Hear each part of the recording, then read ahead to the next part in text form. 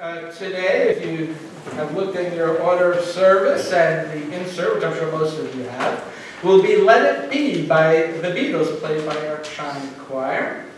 Um, and I have to admit, growing up, although I, I liked the Beatles, I have to say I really hated this song.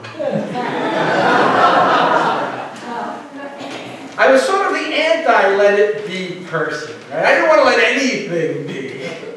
I didn't want to react to the violence that happened in my community with just let it be. I didn't want to react to the hopelessness and despair in the hearts of people with just let it be. I didn't want to react to what was being given to me as religious truth that I did not agree with, with just let it be. I have to understand this was the 70s now, as many of you know, and for those who don't, I'm more of a Bruce Springsteen kind of guy anyway. In Bruce Springsteen's song Jungleland, he wrote what I took to be actually a little diss of, of the Beatles, in which uh, he stated, and I'll, I'll, just hum a few bars, um, outside the streets on fire in a real death waltz, between what's flesh and what's fantasy. And the poets down here, they don't write nothing at all. They just sit around and let it all be. So that was his little anti, they just let it all be. So this was written at a time of urban decay when there was diminishing public services, increasing poverty, heightened racial tensions, and the beginning of the war on drugs. Events that all seem to be reappearing in society today.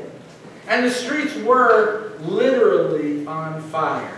During 1977 World Series, uh, with Howard Cosell announcing the game, uh, the camera pans to the surrounding neighborhood of Yankee Stadium. It shows buildings burning.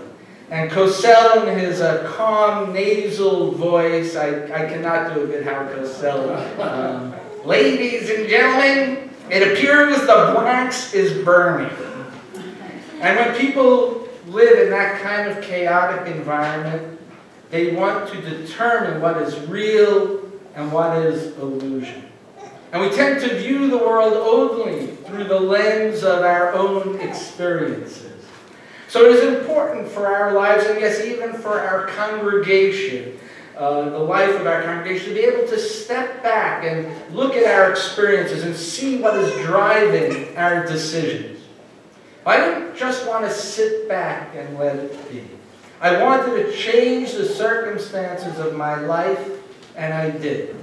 Or I should say, the circumstances of my life gave me the opportunity to see the world in a different way. And each time that happened, I had to let go. I had to let go of old beliefs, of old biases, and old ways of being. And yes, there is a loss that comes with that. Loss is a part of our lives, all of our lives. In order to grow, sometimes we have to lose something. Sometimes we lose supposed friends when we decide to change how we're going to live our life. Sometimes we lose a job when we choose not to be silent about unethical behavior. Sometimes we even have to lose our way in order to find. Sometimes we don't know how it's going to turn out. I wrote about this in my newsletter article this month when I talked about the time when I bungee jumped. Uh, the idea seemed good on the way up, but But when I had to pull the pin in order to jump, I actually had to pull the pin in order to jump. I, I hesitated. Uh, I knew it would be embarrassing not to go through with it, but I could live with embarrassment. Uh, what I couldn't live with was sort of the unknown of what would happen uh, when I pulled the pin. Right? I imagined the ropes would not work and I would just plummet to my death. Right? It was fear that, that was keeping me from pulling that pin. I had to trust that it would work out. And once I pulled that pin, it was an exhilarating a feeling of freedom, of one that I, I cannot even explain to you. And I love, I love the picture, it was up at the beginning, I'll show it again here, of the trapeze artist. Um, You know, and, and unlike a bungee jumper, which, you know, when I did it, I did it myself. Of course, there were people who helped set it up, but I did it. The trapeze artist in this picture has to trust their fellow jumper.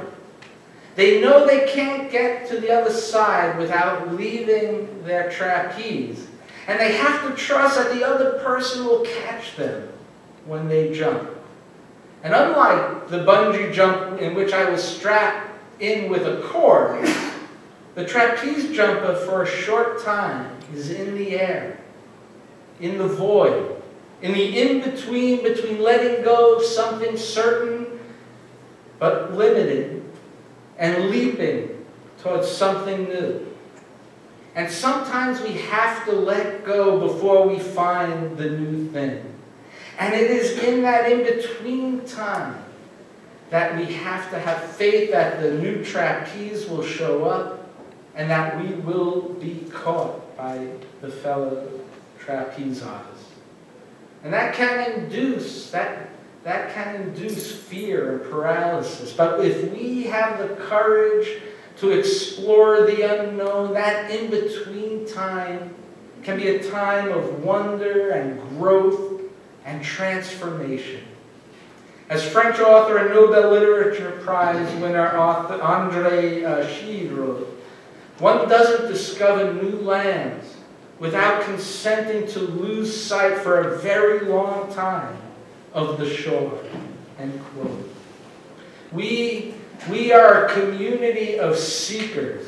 We explore new understandings and new ways of being as new information becomes available to us. And new information is always available to us with each new experience that we have. And yet, despite being uh, progressive theologically, we are really very conservative and resistant to organizational change.